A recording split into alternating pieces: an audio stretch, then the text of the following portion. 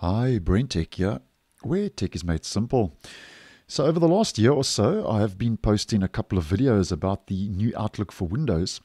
And just to do a quick follow up, as um, there is some more info that's become available. And uh, um, Microsoft has finally started rolling out support for Gmail accounts uh, in the new Outlook for Windows. And this is an announcement they did make last year. And uh, that was with the uh, rollout of the preview when they started making the preview version of the new Outlook for Windows available to all Office Insiders, where it still is being tested. Uh, it's not uh, stable yet, it's still in preview, being tested in the Office Insider program. And, uh, um, Microsoft has said uh, in a recent blog post that um, um, you can now start um, adding your Gmail accounts, and there's also um, support for Yahoo and iCloud coming soon, which will also give you the ability to connect um, Mailbox through IMAP which are all, going to be rolling out soon, although um, Microsoft hasn't given a direct timeline for what they are calling rolling out soon. Now, in that blog post, Microsoft has said, and I'm quoting, uh, the initial release of this preview only supported first party accounts from Microsoft, um, whether they were work, school, or personal.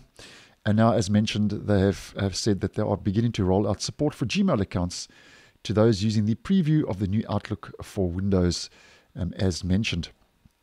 Now, um, this also means that um, you can also use your Google Calendar and contacts within the new Outlook uh, for Windows Preview. So you won't just have access to Gmail, you can obviously get your Google Calendar and contacts.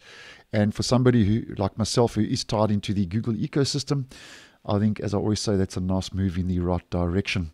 Now, over and above um, adding a Gmail support to the new Outlook still in preview, um, there are a couple of new features and options um, for third party accounts. And I'm just going to go through these uh, quickly.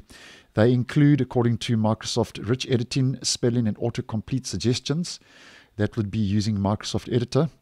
Uh, the ability to send emails um, with polls to help make decisions quicker. That's for work and school accounts only, so just take note of that. Um, delay the delivery of an email for up to 10 seconds and so basically, that means you can undo sending that email if you have a change of mind or change of heart. So you've got 10 seconds to undo sending that email. You can also join a Skype or Teams call directly from the new Outlook for Windows and the ability to pin important emails to the top of your inbox, as I have mentioned in a previous video. And uh, over and above that, um, the rollout uh, is now taking place uh, worldwide, so to speak but um, it's on a controlled rollout, so it might not be available for everyone to access the feature in preview at this stage.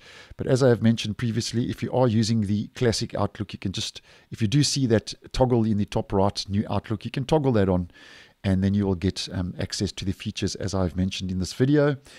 And uh, um, if you want to add your Gmail account, um, according to Microsoft, um, the add account option is at the bottom of the left pane. And then you go to accounts, email accounts, settings, and enter the Gmail account as we can see in the screenshot. And then you'll be able to add your Gmail account to the new Outlook for Windows. So just letting you know that you can now add those Gmail accounts and support for Gmail accounts is now available uh, in the new Outlook for Windows still in preview. So thanks for watching, and I will see you in the next one.